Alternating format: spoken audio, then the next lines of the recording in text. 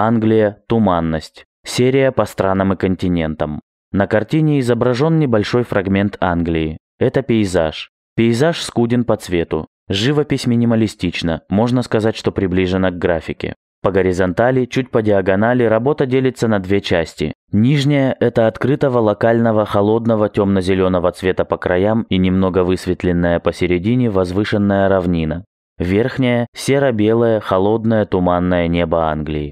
На границе неба и равнины, в центре работы, вплотную друг к другу стоят три небольших, добротно построенных каменных дома. Дома сделаны в черно-белой графике.